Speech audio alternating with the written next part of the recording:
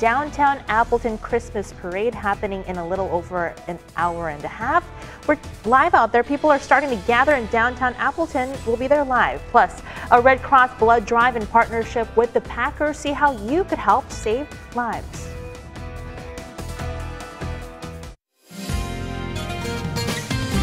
And now, your Storm Shield forecast with NBC 26 Chief Meteorologist Cameron Moreland.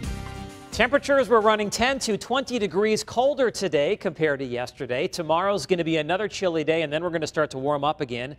Look for lower 40s on Thanksgiving, up into the lower half of the 50s on Black Friday.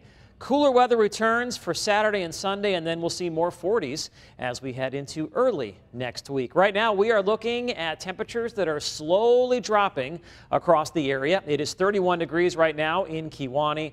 It's already down to 20 degrees in Antigo. In Green Bay, it is mostly cloudy. You can see just a sliver of what's left over from sunset. The temperature is 30 degrees with gusty northwest winds. In Appleton, it is also partly to mostly cloudy with northwest winds gusting to around 25 miles per hour. When you combine those gusty winds with the chilly conditions, it feels even colder out there right now. Wind chills are mainly in the mid to upper teens, but it does feel like 5 degrees in Antigo. Lots of clouds clouds across the area today, but quiet conditions. We had a strong cold front move through northeast Wisconsin earlier this morning. Behind it, high pressure has been building in along with much, much colder weather. Look at this massive cool down across the north central part of the country behind that cold front.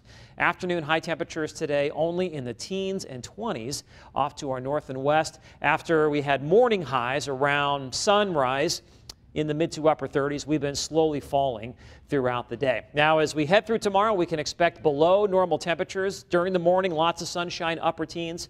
As you take a look at your hunter's forecast, sunrise tomorrow right around 658. Mostly sunny skies at noon. But clouds will be increasing after that. High temperatures will be in the lower 30s. Winds will be much, much lighter. If you are planning on traveling tomorrow across the Badger State, no major issues. We'll see some high clouds move in during the afternoon. Those clouds will thicken up and could give us a light snow shower or a flurry tomorrow night.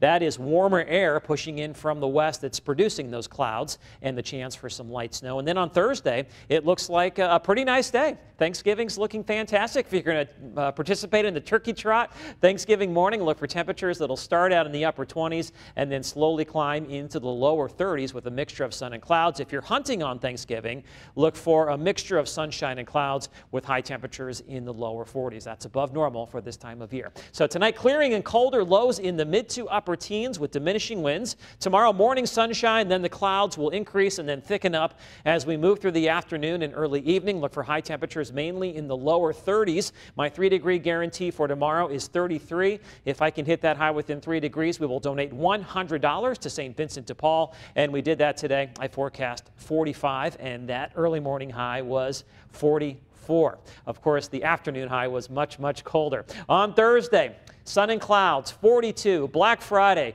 mostly cloudy skies. A chance for some showers late as a cold front moves through. Behind that cold front, colder weather and seasonable conditions as we head into Saturday and Sunday with highs mainly in the mid to upper 30s. Then we warm up again for early next week, upper 40s on Monday. The chance for some showers on Tuesday with highs in the 40s, perhaps some lower 50s, especially across the south. Every time I see 40s and 50s, though, I get happy because it's warm, right?